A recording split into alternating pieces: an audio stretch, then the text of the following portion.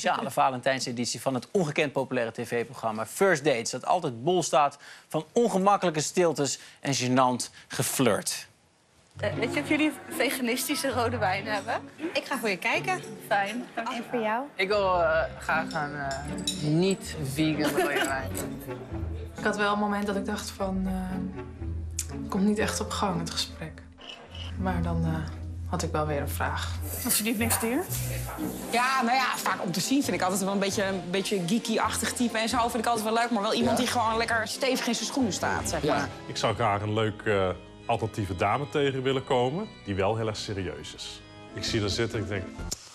Perfectie. Maar wacht, dan moet je weglopen. Je wilt ook wat hebben. Nee, dat is... Ja. Nee, dat hoeft niet. Nee, voor niet zeiken. wat heb je grote borsten? Ja, dit is natuurlijk hoe we... Ja, we hebben net die reclame gezien. Ja, Nou, dit kan ook dit, niet. Dat lijkt er zo. Maar dit is natuurlijk hoe we first dates eh, kennen. Nu met BN'ers. Jij, stylist uh, Mark de Boer en YouTuber Yvonne uh. Wat fijn dat jullie, uh, dat jullie zijn. Waren jullie nou zo wanhopig dat je dacht, ik ga hier dan... Oh, gemene vraag.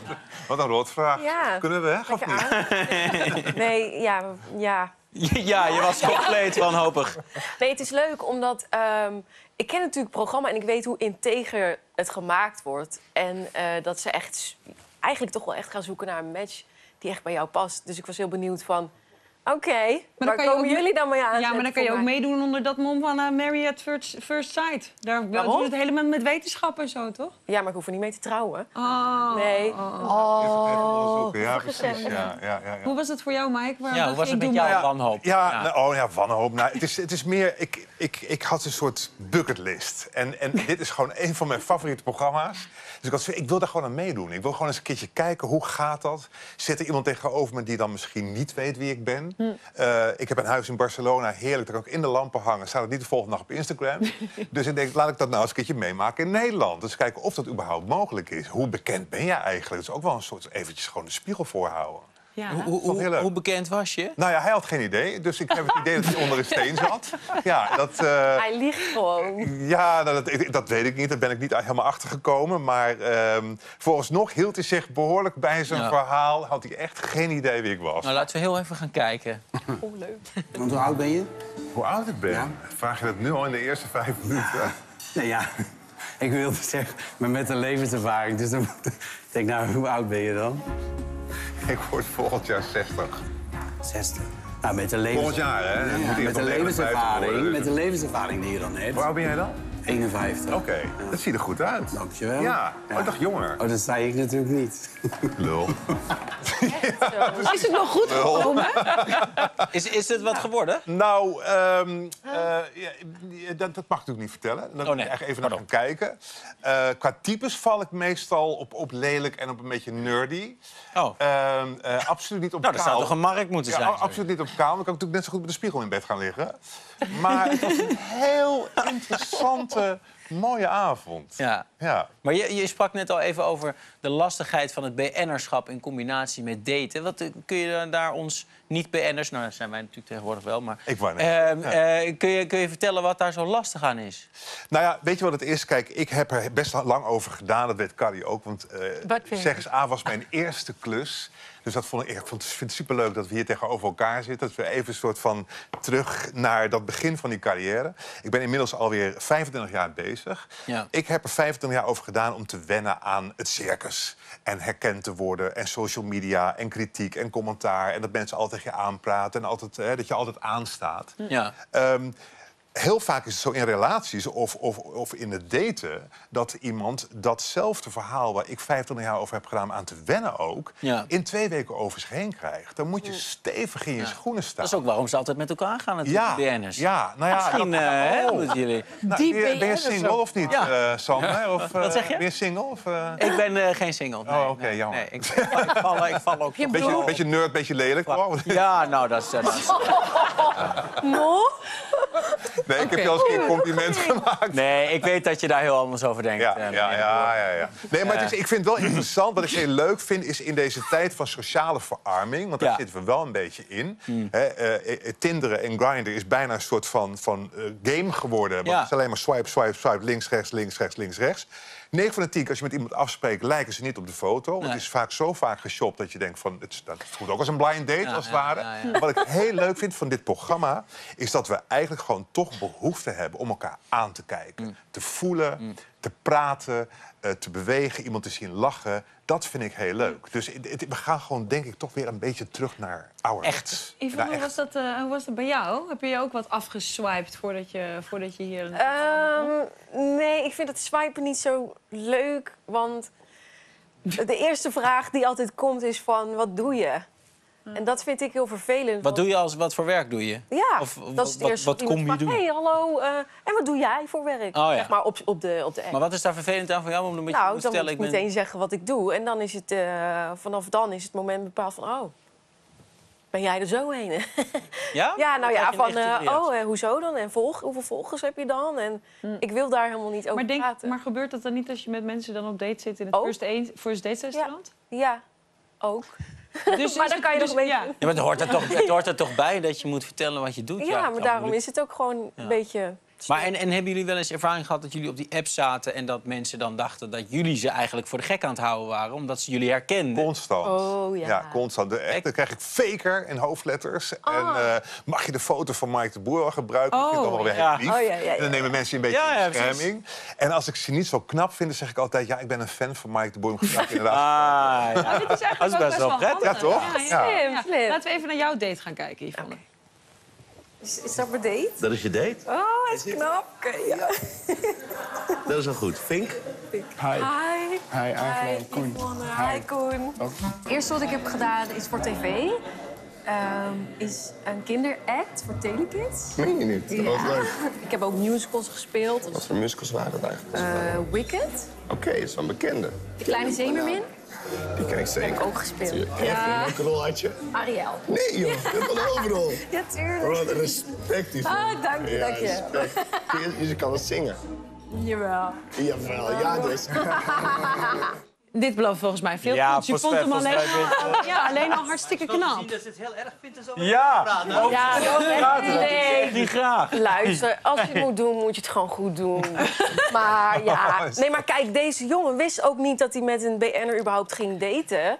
Oh nee, vrouw. Nee, dat wist vrouw wist het. niemand. Nee. Niemand wist het. Dus het was ook. op een gegeven moment dacht ik, volgens mij snapt hij nog steeds niet echt wat het format doe. is. Of wat Ook ik van dit doe. televisieprogramma. Als in- Ja, ja, ja, ja, ja. eh, hij Ik wist zat niet. naar de promo te kijken. Zo zie ik ineens Sipke Jan met een jongen daar zitten. Ik denk, vrek, daar heb ik een keer mee gezoend in een garage op het Mediapark. Met Sippe Jan of met die jongen? Of die jongen die ah. was. Oh. Maar, maar, maken jullie ook niet zorgen dat ze eigenlijk helemaal niet wisten wie jullie zijn? Dat jullie niet, ik niet, niet niet BN genoeg zijn? Dat ze- Nee, liever dat hij me niet kent dan wel. Maar dan was het programma niet gelukt. Dan- Maar even, zei jij nou dat die mensen dus niet wisten dat, jullie, dat ze met BN'ers op date gingen? Kijk, met jou eh, kan ik me nog voorstellen als je bijvoorbeeld niet op YouTube kijkt... Ja. of weet ik veel wat, dat je je niet kan kennen. Maar eh, met Mike de Boer, je gaat op date... Ah, en dan ineens lastig. zit je daar tegenover Mike de Boer. Hoe was dat voor deze meneer? Nou, hij, hij, volgens het nog zei hij dat hij echt geen idee had wie ik was. Nooit gezien. Nou, dat pleit wel voor hem. Ja, dat Ja. vind ik ook wel heel leuk. Weet je? Dat, eh, Maar hoe gaat het je- dan verder? Ja, hoe gaat het dan verder? Moet Want, want in feite hè? komen die mensen daar naartoe om iemand te ontmoeten. Ja. En dat gaat dan niet verder. Hoe gaat het dan? Of gaat het wel? Ofwel, Ja, ofwel. nou. Ja. Ja, want Dat is dus de, dat is dus de cliffhanger Ja. Zie je al een natuurlijk. ring aan mijn vinger? Ik heb het verkeerd begrepen. Ja, want, want Karin, jij hebt ook ervaring met dit soort programma's. Op goed geluk. Ja, Ja. natuurlijk. Laten we even gaan kijken. gaan even kijken. was leuk. Goeie oude tijd. Je mag fantaseren. Echt be- best erg romantisch. Een ontbijt op bed met... Ah. eh, heel, heel... Ja, dat, dat zou ik heel leuk vinden. Als je zo een beetje aan het fantaseren bent over hoe ze er dan uit moet zien. Ik denk dat ze blond haar heeft. Dan lijkt ze volgens mij ook nog eens op Meryl Streep. Oei, oei, oei. Nou, Dus, Carrie. op goed geluk!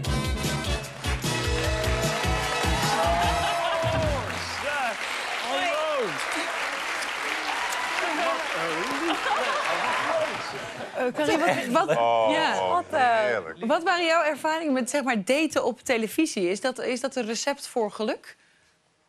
Waren deze Nee, mensen vaak nog bij elkaar? Nee, het waren meestal ook mensen die eh, het gewoon heel erg leuk vonden om op televisie te komen. Oh ja, ja. Nog een reisje ook met iemand te maken. maar de- ja, dat was wel een bijzaak, hè, dat je met een vreemde op reis ging. Maar dat reisje was natuurlijk enig overal naartoe. Dus geen lange relaties uit goed geluk ontstaan? Eén één stel, geloof ik, of misschien twee.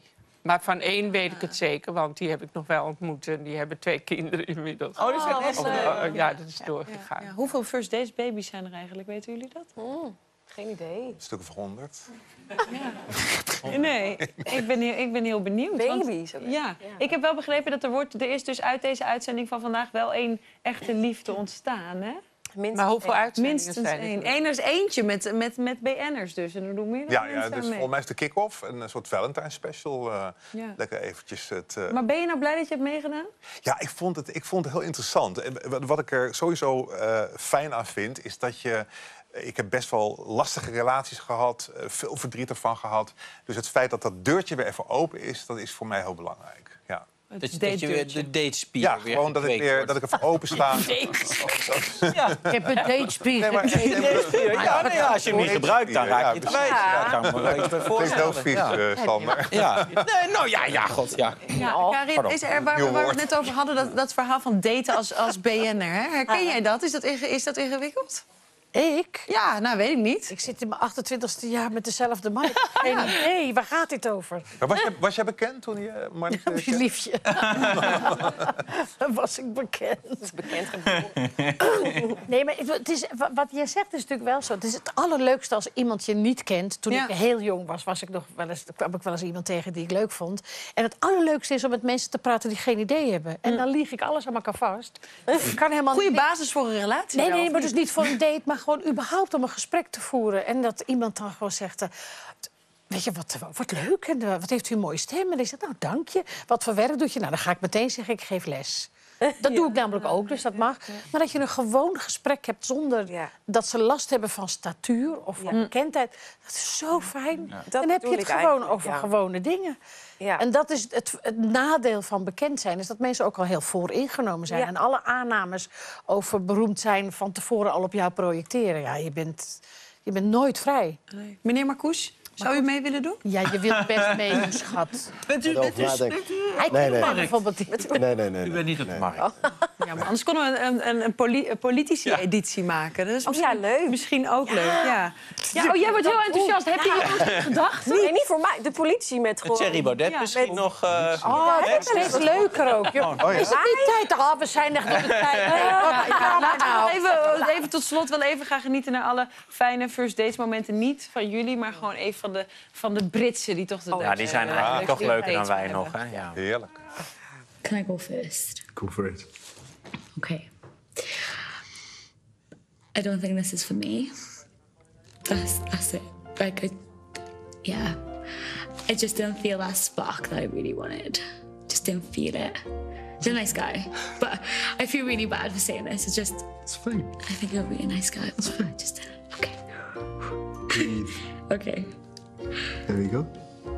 And, oh well, obviously I would have liked to see you again, but don't feel awkward Okay. because I'm, I'm glad I've met you because mm-hmm. it's you're a lovely person, and I hope you do find someone you get that spark with.